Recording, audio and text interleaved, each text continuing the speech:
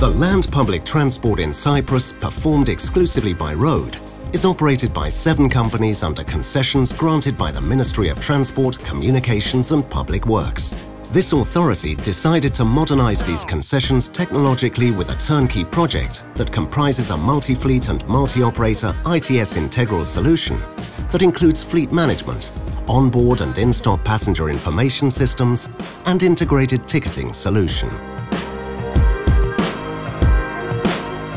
The Ministry of Transport is the responsible agency for managing uh, public transport in Cyprus. We have uh, seven different um, uh, companies which are delivering the public transport services. And the challenge for us is to manage these contracts in an efficient way and deliver appropriate uh, services to uh, public transport users. GMV's robust uh, systems, software and hardware were important uh, to us for delivering uh, all the required functionalities. And GMV's good project management and continued cooperation and support throughout the project uh, delivered uh, to us uh, the project on time and in budget.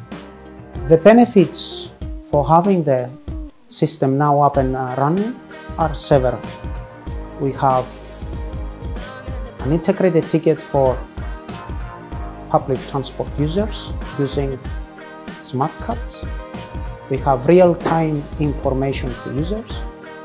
For the PT operators, we have a system that they use to manage their fleets and coordinate their services.